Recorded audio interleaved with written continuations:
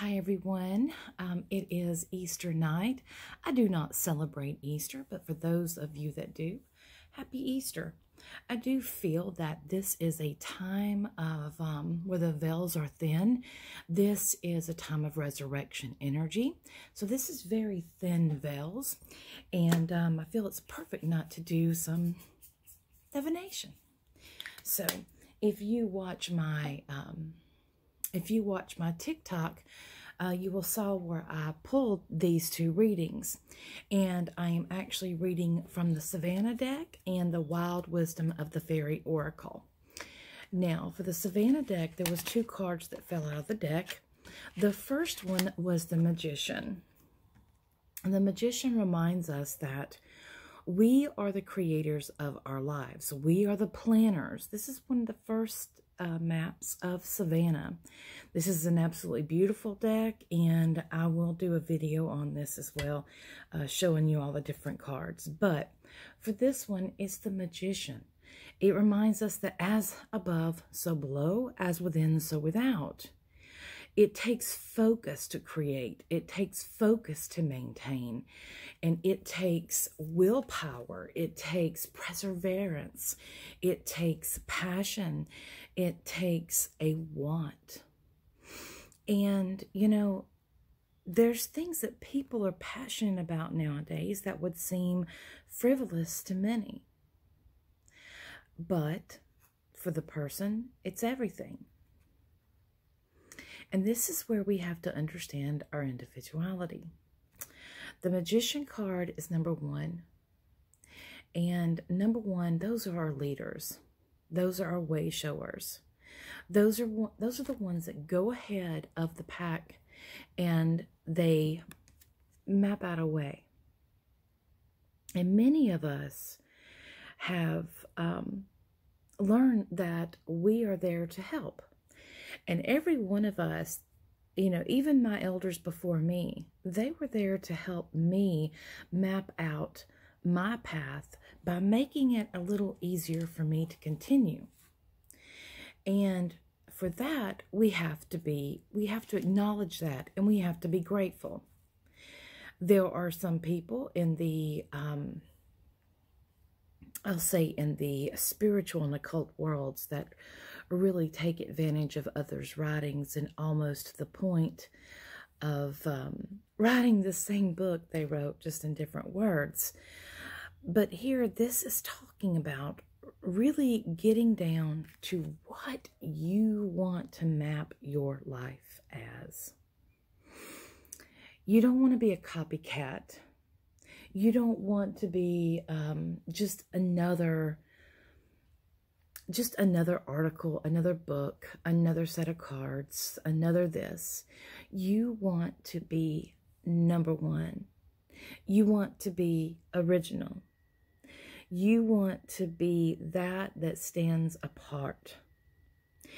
And for those of you who do have a vision and do know where you're going, you understand the importance of that focus and of that persistence, of that uh, challenging yourself every step of the way. Because many things, many things do not come easy. It comes through hard work. It come it, it comes from, you know, acknowledging what you truly, truly want and walking toward that goal overturning or I would I should say um, removing or climbing over each obstacle that you may have. And these challenges are there to teach you. They help you grow. They help you get experience that you would have never received. And we have to understand that. We always want things the easy way. Um, the ones where we don't have to do all the work, but that's not really how it is. We're in a physical world.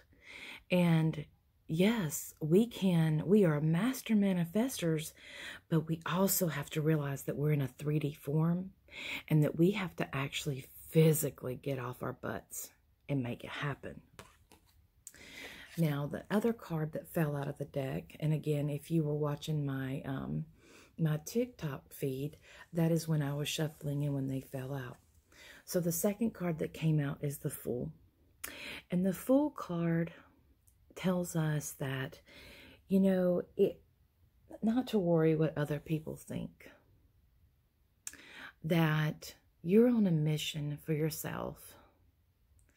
And you need to listen to your intuition here. Um, it's okay sometimes to take that leap of faith and to uh, trust in yourself, trust in your abilities, trust in who you are in order to make things happen here. Sometimes we just have to take that chance. We just have to, you know, take a deep breath and make that leap and we have to trust in ourselves that we will land on our feet every single time. This is a new beginning. It's a new start. And it's, you know, map it out well. Map it out. So we also have the card. I did the Wild Wisdom of the Faery Oracle deck as well. And the card that came out of that is Carry Me Home. And on this card it says support, um, time to be carried, and allow others to help you. And you see how that is. And you know, this is one of the biggest problems I have, and I'm sure many of you have, asking for help. Asking for help. Oh my goodness. A lot of us do know that, you know, some of us are leaders. Some of us just take the just take the reins and and go. Some of us see the weakness and we see where the slack is and we try to help. We try to build that. Um, some of us, you know, pave the way for those that are going behind us.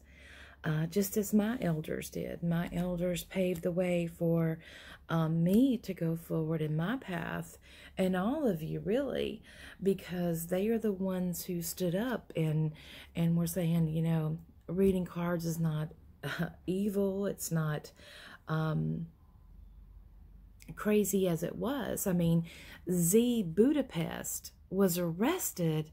Um, oh my goodness, I can't remember when. I want to say the 80s, maybe. But this was in Los Angeles. She was arrested for reading tarot cards. Seriously? And you know good and well there was many, many other readers around there. I mean, this was Los Angeles, California, really?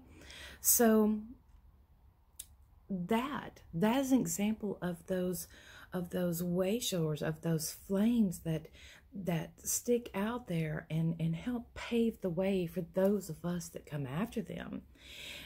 But sometimes you gotta ask for help. Sometimes the load can be too heavy. Sometimes it can be too much. It's overwhelming. You just can't, you feel like you can't breathe. Reach out. There's many people. I see, you know, when I'm on TikTok and other social me social medias, I see tons of people listing stuff about reaching out. If you if you need something, I'm here. If you're hurting, I'm here. Do so.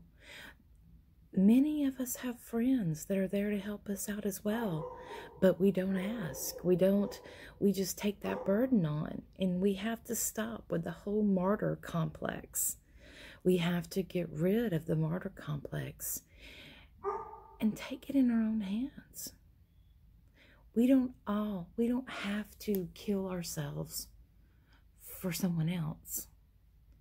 Other people can and should carry their own burdens. People need to pull their own weight. So, in saying that, many of you who do too much, who go that extra mile, don't forget to reach out for help. There's people around that can help you. You just have to allow it. And it could also mean that you can get help on mapping out your life and finding out what you want. And maybe you're going to take a chance on a new adventure with someone.